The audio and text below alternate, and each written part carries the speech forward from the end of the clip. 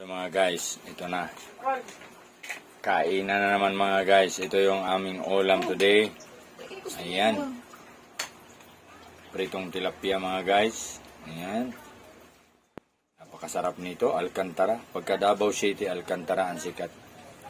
Meron kaming kasalo. Ayan. Meron pa kami is, ah, umba. Ayan.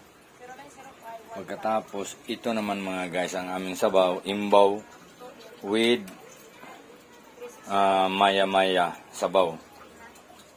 Imbaw with maya-maya soup mga guys. So, sarap nito mga guys.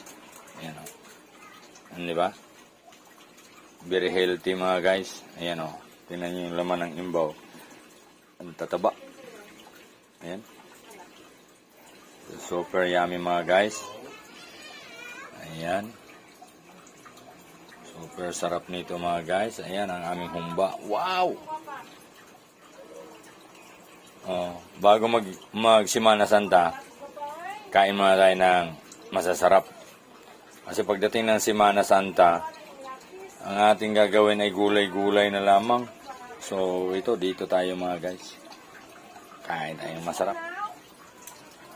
Ayan. Hindi ba? Sarap nito mga guys. Ayan oh. Pabing sarap nito mga guys. Ah, follow for more lang mga guys. Ah, maraming salamat.